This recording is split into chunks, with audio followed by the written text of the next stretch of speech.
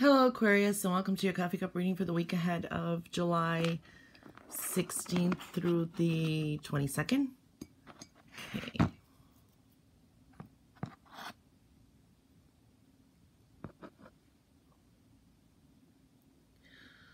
Okay, you may be dealing with some past issues.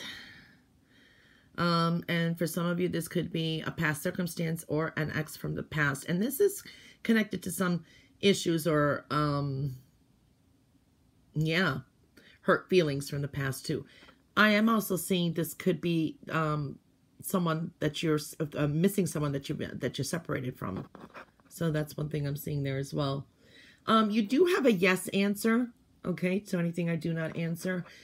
There is this energy, though, be careful of overdoing a good thing, too, okay? So that's one thing there. Some of you are a little bit down and in your head, too, as well. Um, but you're coming more into your element. For some of you, you're going to be standing up more for yourself or you're going to need to stand up for yourself, too. There's like a void here, too, okay? So I could see that maybe a little bit of um, melancholy um, kind of energy. You know, I do see you um,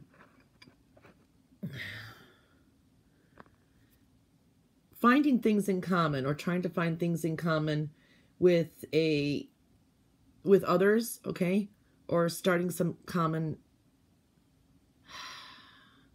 a common cause, finding something um, like-minded people around you too. So that's very strongly indicated there too. Mm, I do see some rebellious energy, okay? But it won't help you progress this week, okay? So just be a little bit, um, you could be a little bit more of a rebel this week, you know, a little bit rebellious, stubborn as well. And it's not going to help you progress much this week. So I would be taming that a little. You know, in other words, don't fight the flow. Um, it will only wear you out. That is one thing I'm seeing there. I do see inspiration. This could be even an epiphany, but there is a boost of energy coming through. Um, it will definitely instigate some kind of change coming in, okay? It could be radical, too. Um, I do see some radical, um, maybe new take on things, new perspectives, new ways of doing things.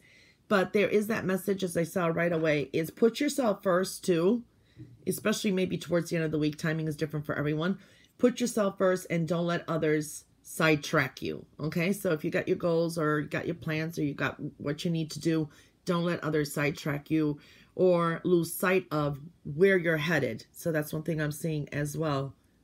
Yeah. Okay. All right. On the plate. You have a new beginning, especially connected to finances. So that's very good. I like that too. Um, you there will be a turn of events, but I do see a little bit of um, um, anxious energy, um, anxiety, frustration is possible as well.